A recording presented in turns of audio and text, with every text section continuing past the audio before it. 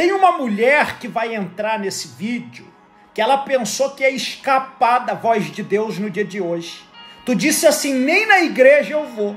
Só que se você não vai até Deus, Deus vem até você através dessa revelação. Você disse: hoje eu não quero ouvir nada, não quero saber de nada. Tu tá mal e tu sabe que é contigo.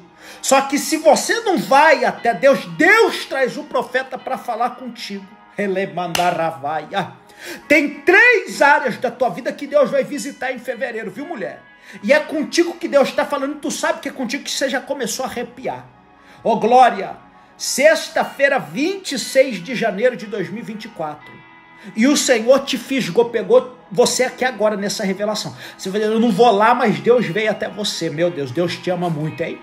Coloca o seu nome aqui pro profeta orar. Ficou até aqui, já coloca o nome para eu orar por você. Deixa eu abençoar a tua vida. Deixa eu ser boca de Deus na tua história. No maisinho aqui embaixo, ó. Me segue para ouvir Deus falar contigo todos os dias, o coraçãozinho. Você deixando ele vermelho, você vai me ajudar e muito.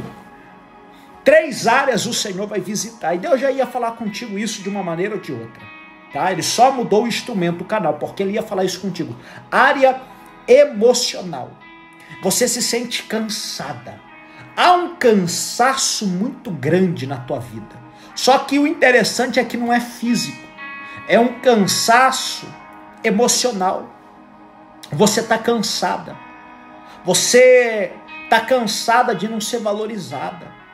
Você está cansada de receber a culpa por tudo, sendo que nem você é culpada por isso. Mas o Senhor está dizendo que Ele vai revigorar a tua vida emocional. A segunda área é a financeira. Deus vai visitar a tua sorte financeira. Porque Deus sabe que você é uma pessoa de fé. Você é uma pessoa de fé. E a tua fé, ela é inabalável. A tua fé, ela te motiva a avançar. A tua fé te motiva a crescer mais e mais. E tem muita gente que não entende como que você é uma pessoa de tanta fé passando tanta humilhação. Deus está dizendo que Ele vai mudar a tua história financeira pela tua fé, porque Ele sabe que você não tem vaidade.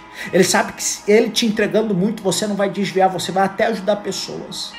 E a terceira aí, talvez a maior de todas elas, é a espiritual. Porque de um tempo para cá, você está cambaleando muito na fé.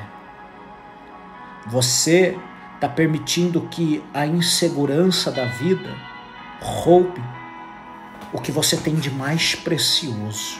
Mas o Senhor está dizendo que Ele vai restaurar a tua vida, a tua vida espiritual novamente. Eu vejo uma injeção de ânimo de Jeová descendo sobre a tua vida. Você vai ser fortalecida novamente, diz o Senhor.